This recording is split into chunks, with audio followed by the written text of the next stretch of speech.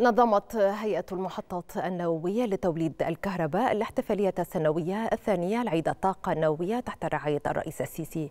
يأتي العيد السنوي للطاقة النووية تعبيرا عن الانطلاقة الحقيقية لمشروع مصر القومي للمحطات النووية والذي يوافق توقيع الاتفاقية الحكومية بين مصر وروسيا الاتحادية في التاسع عشر من نوفمبر عام 2015 تحت رعاية الرئيس عبد الفتاح السيسي نظمت هيئة المحطات النووية الاحتفالية السنوية الثانية للطاقة النووية والتي تأتي تعبيرا عن الانطلاقة الحقيقية لمشروع مصر القومي للمحطات النووية ويوافق توقيع الاتفاقية الحكومية بين مصر وروسيا الاتحادية لإنشاء أول محطة نووية على الأراضي المصرية وهي محطة الضبعة النووية. المحطة يعني مصممة على أعلى درجات الأمان ودي داخلة في منظومة الاستخدامات السلمية للطاقة النووية وهي من أيضا من ضمن مزيج الطاقة. يعني حضرتك عارف إحنا اشتغلنا في سنة 2014 2015 وكان في تحديد لمزيج الطاقة بنعتمد على الطاقة النووية بنعتمد على الطاقة الجديدة المتجددة وطبعا الطاقة الأحفورية بقدر معين. وإحنا حتى زي ما شايف حضرتك شايف إن إحنا بنعظم قوي استخدامات كمان الطاقة المتجددة. الحقيقة الطاقة النووية هي طاقة نظيفة بتحافظ على البيئة بتقع في قلب التنمية المستدامة تماما.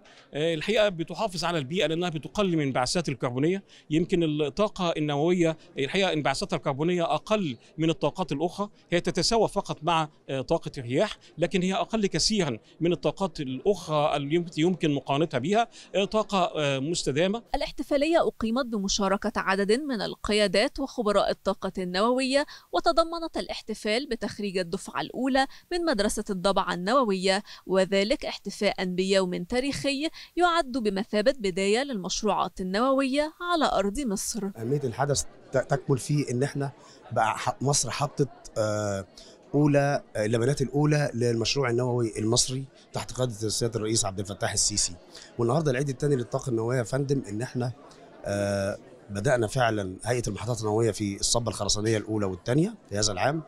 والنجاح الحقيقي إن إحنا بدأ مصر تملك طاقة بشرية عالية جدا كانت متمثلة النهارده الحقيقة في الخريجين الجدد من مدرسة الضبعه النووية. مدرسة الضبعه النووية هي مدرسة الأولى من نوعها في الشرق الأوسط، هي مدرسة نظامها خمس سنين بيتم الالتحاق بها بعد الإعدادية مباشرة وعلشان الالتحاق ليها فيها شروط، في شروط طبعا في الدرجات وغير كده في في اختبارات كتير عملناها في الكلية الفنية العسكرية. وجودي في مدرسة الضبعه النووية كانت فرصة كبيرة جدا ليا كطموح شخصي لأن هي بتمزج بين الطابع العملي والطابع العلمي.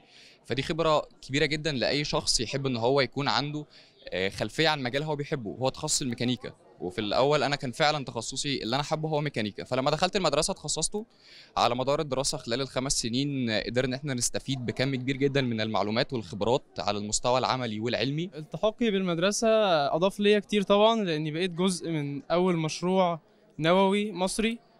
أنا أو أنا أول فريق من ضمن أول فريق هيشتغل في المشروع ده.